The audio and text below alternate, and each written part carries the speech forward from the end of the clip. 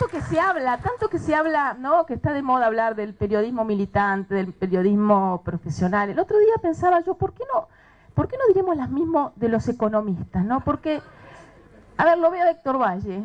Héctor Valle, nosotros éramos los, y varios acá, los veo varios, nosotros éramos los economistas no profesionales.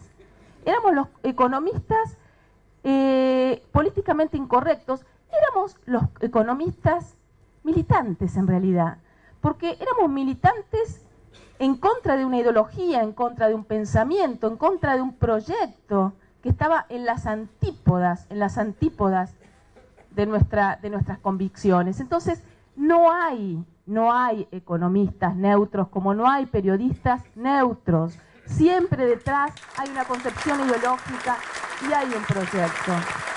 Cuando vemos quiénes compran dólares, y nosotros tomamos todo, lo que compran empresas, eh, empecemos con las personas, empecemos con las personas mayores de 18 años que son las que votan, ¿sí?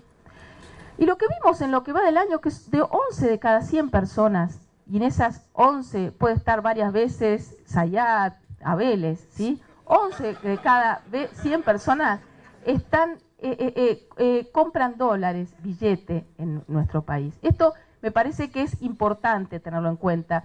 Muchos de los pasos que ha dado eh, la presidenta en las últimas semanas nos está mostrando qué significa profundizar el modelo. Eh, y profundizar el modelo sin generar nada, ninguna cuestión distorsiva, sino generar mejor y más eficiente Estado, ¿sí? Porque en última instancia, en última instancia, esta decisión de que el AFIP pueda eh, de alguna manera validar previamente, previamente, si hay ingresos, si hay ingresos declarados, si hay ingresos en blanco, de dónde vienen esos ingresos para comprar dólares, es, tendría que ser celebrado por todos. Tendría que ser celebrado en un país maduro, porque además estamos replicando lo que ocurre en todos los países y economías del mundo.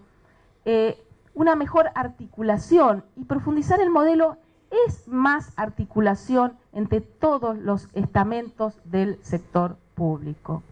Medidas tales como eh, eh, reinstalar la obligación de las eh, petroleras y de las mineras para ingresar las divisas. Suponen eso, profundizar el modelo y, dejar al lado más equidad, supone más equidad ¿Por qué la industria que está exportando más que ningún sector tenía que liquidarlas acá? ¿Por qué la soja? Eh, bueno, eh, esto es introducir más componentes de equidad en lo que hace a las regulaciones.